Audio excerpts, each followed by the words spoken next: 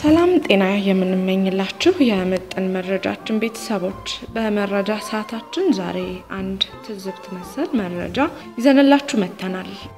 የአየር መንገዳችን ዋና ኃላፊ የሆኑት አቶ ተወልደ ገብረ ማርያም በ2021 ሊከተሏቸው ከሚገቡ 14 የአየር መንገዱ ዋና ስራ አስፈጻሚዎች መካከል ተካተው ማየቱ ግርምትን አጭሮ የሚያልፍ ቢሆንም እንዴት እንለፈው? ምሳሌነታቸውስ በምንድን ነው?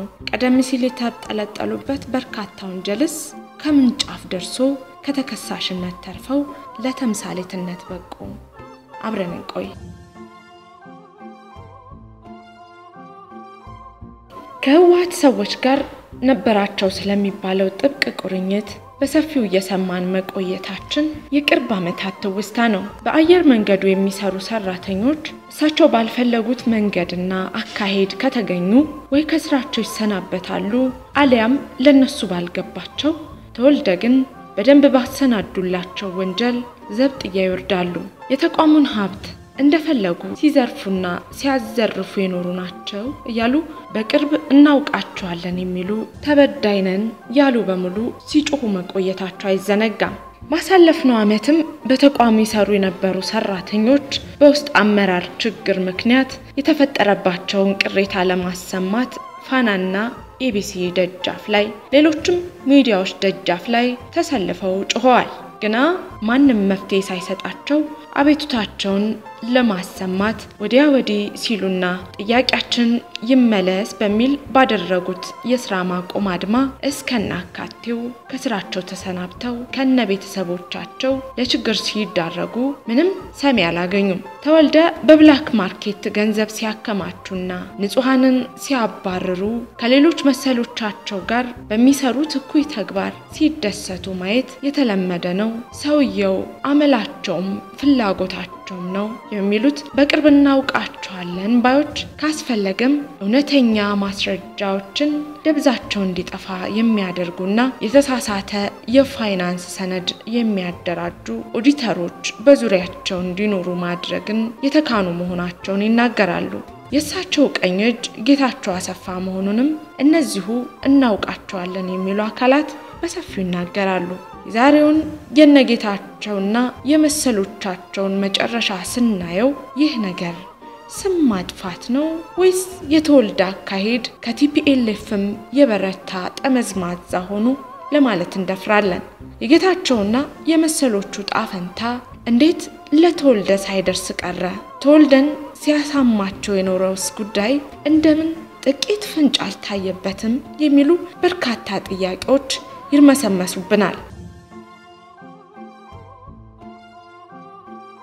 ባሳለፍነው ዓመት በጉዳዩ ላይ ተጠይቀው ይህ ሁሉ ሐሜት ነው፣ እኔ ንጹሕ ሰው ነኝ ቢሉም በዛው ንጹሕነታቸውን በተረኩበት ሚዲያ ላይ በእሳቸው ተበደልኩ የሚል ሰው ጉድ የሚያሰኙ በርካታ ነገሮችን ተንትኗል። ከአሁኑ ጤና ሚኒስተር አመፀኛው ህወሓትን መቃብር ከመውረድ ለመታደግ በዓለም ዙሪያ የቻሉትን ያህል ከለፉት ቴዎድሮስ አድሃኖም እና ከሱዳን ሽፍቶች ጋር በመሆን ኮንትሮባንድ ንግድን ሳይቀር በደንብ ዘውረውታል ከሚባልላቸው አሁን በገቡበት ዋሻ እንደ ቀበሮ ሲሯሯጡ የመከላከያ ጥይት ሲሳይ ከሆኑት ከአቶ ስዩም መስፍን ጋር በመሆን ስለሚዘውሩት የገንዘብ ማርሽ በደንብ ዘግዝኮ ተናግሯል።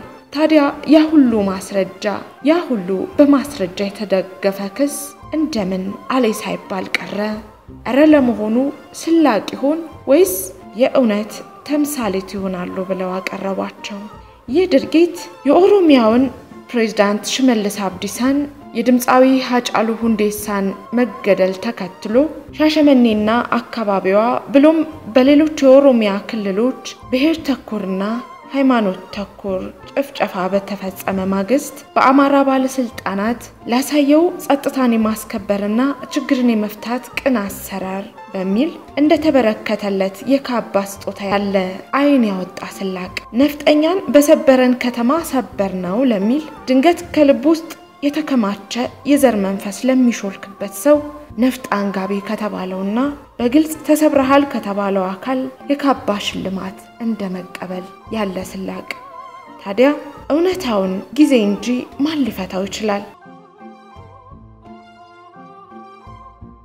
ተወልደን በቅርብ አውቃቸዋለሁ ከግፈኛም ከሌባም በላይ የሚገልጻቸው ቢኖር እጠቀምበት ነበር የሚለው ተናጋሪ ሌሎች አብረዋቸው የነበሩ ሰዎችን ይዘረዝራል። ማስረጃ የሚለውንም እንዲሁ አንድ በአንድ ይደረድረዋል። ተዘክዝኮ የማያልቀውንና ስንሰማው ጉድ ያስባለንን ግፍ የተፈጸመባቸው ግለሰቦችም እሰይ ሀገር ሰማው ፀሐይ ሞቀው ከእንግዲህ ፍትህ ይሰጠናል በማለት ስለሚወሰንባቸው የፍርድ ውሳኔ ለመስማት ብሎም ተገቢውን ካሳ ለማግኘት ቢጠብቁም እንደው ዝም ሆኖ ቀረ። መነገሩ መወራቱና መቀባበሉ ትርፍ አልባ ወሬ ሆነ። እንዴት እንዲህ ሆነ? ለነገሩ ይላሉ ጉዳዩ ያበሳጫቸው። ለነገሩ ክርስቶስን አስሮ በርባንን በፈታ ዓለም የእውነት ፍርድና የእውነት መንገድን መፈለጉ ከንቱ ልፋት ነው። የተገፉትን በእሳቸው አመራር ከስራ ውጭ የሆኑትን ለጠየቁት የፍትህ ጥያቄ እስራትና ከስራ መባረር የተመለሰላቸውን የተወልደ ተምሳሌት መባል ሊከተሏቸው የሚገባ መባል ከመሳለቅ ያለፈ ትርጉም አልሰጥ ብሏቸዋል።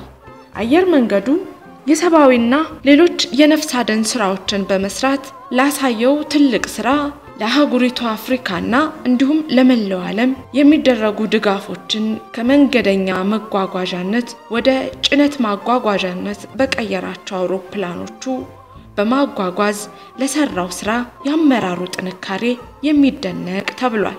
አየር መንገዱ በአስገራሚ ሁኔታ ከፍተኛ የሚባል እድገት በማሳየት በካርጎ አገልግሎት ሰጭነቱ ከታላላቅ የዓለማችን ሀገራት ሁሉ በልጦና ተሽሎ ሰባተኛ ደረጃ ላይ ሊቀመጥ በቅቷል። ይህም የአመራሩን ብቃትና ጥንካሬ የሚያስመሰክር ነው በማለት በዋናነት ከሚጠቀሱ የአየር መንገዱ ሰዎች መካከል እሳቸውም ተካተዋል።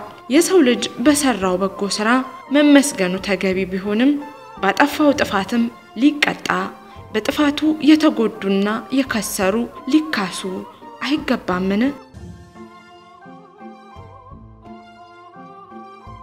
ከዚህ በፊት በስፋት ከተወራው የጁንታው አብሮነትስ በምን ተአምር ሊወጡ ቻሉ? በሰራተኞቻቸው አማካኝነት አንዲት ድሃ አፍሪካዊት ሀገር የአየር መንገድ ልትከፍት አስባ ነበር እና እስኪ proposal አዘጋጅተን እንደግፋት ብለው ስለ ማሰራታቸው የሚነገርላቸው ተወልደ ይኸው ተምሳሌት ተብለዋል። የሚናደደው ተናዶ፣ የገረመው ተገርሞ የዓለም አሰራር ከዚህ የተለየ አይደለም የሚለውም አጃኢብ ብሎ ዝም ከማለት ውጪ ምን ያመጣል? ወደ ጭሶ ጭሶ የነደደ እንደሆን እንዳለው ድምፃዊ እያንጎራጎሩ በትዝብት ከማየት ያለፈ አቅም ያጡም ከሹመትና ምስጋና በኋላ የሚሆነውን እየጠበቁ ነው። አበቃው።